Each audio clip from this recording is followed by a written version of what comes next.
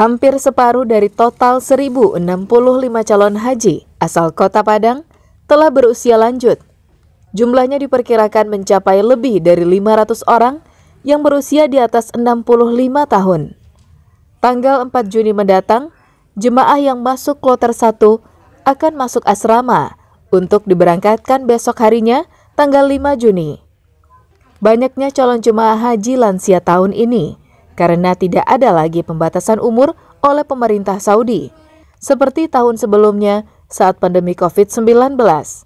Saat ini, semua calon haji tengah menunggu jadwal keberangkatan karena mereka telah melunasi semua kewajibannya.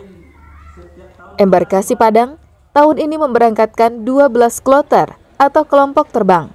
Calon haji asal Padang akan diberangkatkan dengan 5 kelompok terbang. Kloter 1, 385 jemaah, semuanya berasal dari kota Padang. 11 kloter lainnya, gabungan jemaah asal kota dan kabupaten lain di Sumatera Barat.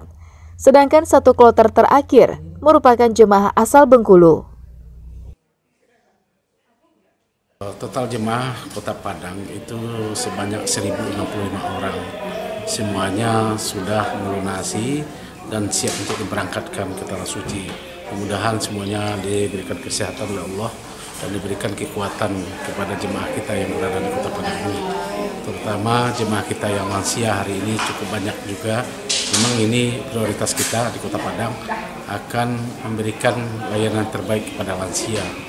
Saat ini daftar tunggu calon jemaah haji asal Padang telah mencapai 24 tahun jika mendaftar tahun ini, maka baru bisa diberangkatkan tahun 2047.